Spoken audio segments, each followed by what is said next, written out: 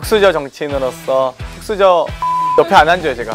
흑수저 출신의 국회의원으로 흑수저 정치인이라고 많이 말을 하는데요. 어, 저는 평범한 청년이라고 생각하거든요. 아니 결혼 못한 청년이 아파트에 사는 게 더 이상한 거 아니에요? 오히려. 안녕하세요. 서울 동대문을 국회의원 장경태입니다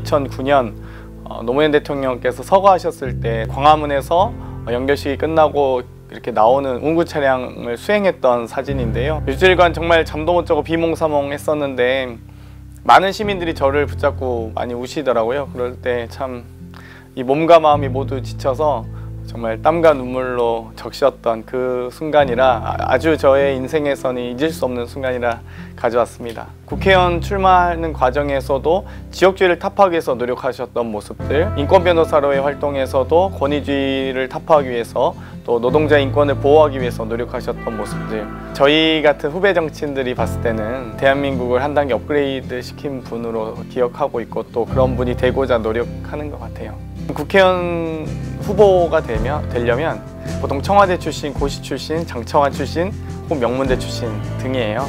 근데 저는 그런 분류에는 속하지 못한 사람이라서 가장 어려웠던 점 하나는 길이 안 보였던 거예요. 내일 뭐 하지 이런 생각 들고 할 수 있을까라는 생각이 들고 어, 내가 갈 수 있을까? 길이 안 보였던 것 같아요. 근데 이겨내려고 하진 않았던 것 같아요. 상황을 이겨내려고는 하진 않고 주어진 상황 하에서 최선을 다하려고 했던 것 같아요. 사실 이게 청년 정치인이라고 하면 대단히 좀 부유한 가정에서 좀 일정한 경제활동이 가능하다고 생각하는데 사실상 거의 청년 알바생 혹은 청년 비정규직 노동자로 전전해야 되거든요. 그런 과정이 참 힘들었던 것 같아요. 투명한 어항 속에 있는 물고기 같은 느낌이거든요. 어느 하나 정말 조심하지 않을 수 없고 또 어떤 일이든지 국회의원의 역할 자체가 열심히 노력하면 할 수 있고 또 열심히 안 하면 아무것도 안 할 수 있는 자리이기 때문에 작게는 저희 지역구 동대문을 지역구 주민들 위해서 또 크게는 우리 대한민국 국민을 위해서 해야 될 역할과 노력이 무엇이 있을까를 고민하고 있고요. 알아야 할 것들과 앞으로 해 나가야 될 것들이 많기 때문에 좀 그 양이 너무 많은 것 같아요. 공부를 이렇게 했으면 더 좋았을 텐데 학창 시절에. 제가 정치사다리법이라고 준비하고 있는 게 있는데요. 사회적 약자거나 돈 없고 백 없어도 정치할 수 있는 환경이 좀 마련돼야 된다 봐요. 아직 청년에게는 없는 어, 청년 추천 보조금 제도 그리고 선거 공영제 과정에서도 지금 10, 15%로 어, 제한이 있는데 뭐 8%, 5%로 좀 기준을 완화해 준다든지 기타금 같은 경우도 1,500만 원 이런 것들 좀 최소한 청년 세대거나 뭐 사회적 약자라고 하면 좀 낮춰주는 법안들 그런 진입장벽을 낮춰주는 것만으로도 전 충분히 도움이 될 수 있다고 보고요. 예를 들면 의원 연구단체는 만들려면 뭐 예를 들면 두 개 이상의 교섭단체가 10명 이상이 모여야 된다. 상임위에 배정받았을 때 부처별 업무 보고를 어떻게 받는 것이 좋을지 그리고 업무 보고를 받는 과정도 어, 좀더 정확하게 알고 또 그 부처가 진행하고 있는 이 업무에 대해서 어떤 질문을 해야지 소위 실력 있는 의원으로 평가를 받는지 아마 뭐 초재선 뭐 등등 선수가 달라도 경쟁이 있는데 당연히 어떤 의원이든지 간에 실력 있는 의원으로 평가받고 싶을 거고요. 원룸에 살고 있는 청년으로서 어떤 기자님이 그런 얘기를 하시더라고요. 어, 국회의원이시면 아파트에 사셔야 되는 거 아니에요? 그런데 아니 결혼 못한 청년이 아파트에 사는 게 더 이상한 거 아니에요?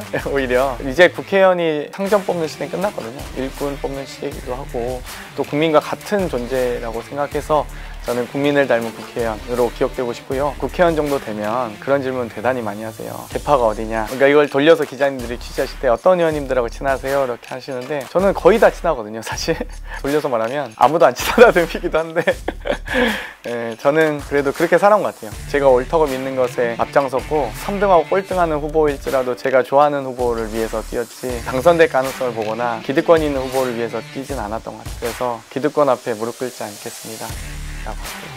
저 같은 경우는 좀 학비가 없어서 일자리가 없어서 주거 환경이 너무 안 좋아서 조금만 저에게 국가가 조금만 도와주면 언젠가 내가 성인 되고 또 일을 했을 때 국가를 위해서 좀 더 대갚아주고 또 되돌려주면서 또 다른 사람에게 역할을 하고 싶었는데 그런 기회가 주어지지 않더라고요. 정치를 하는 상황들은 정말 특별한 상황이지 않거든요. 오히려 한 사람 한 사람 한 개인의 개인의 5천만 국민이 있듯이 5천만 개의 꿈을 지키는 일이라고 생각하거든요. 5천만 개의 권리를 지키는 일이라고 생각하고 5천만의 삶을 만드는 일이라고 생각해요. 장경택의 정치란 5천만 개의 꿈을 지키는 일입니다. 나 정치할 거야 했더니 아 무슨 소리야. 항상 무시당해서 제가 이걸 되게 밀고 있어요